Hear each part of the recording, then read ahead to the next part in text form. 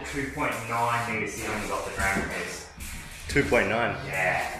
Uh, we had that one job you were with us, we did 3 meters. Yeah, it was right on there. Yeah, that was like, yeah, you Right up doing there. that for more than a couple of minutes. And you had to do it with one arm. right?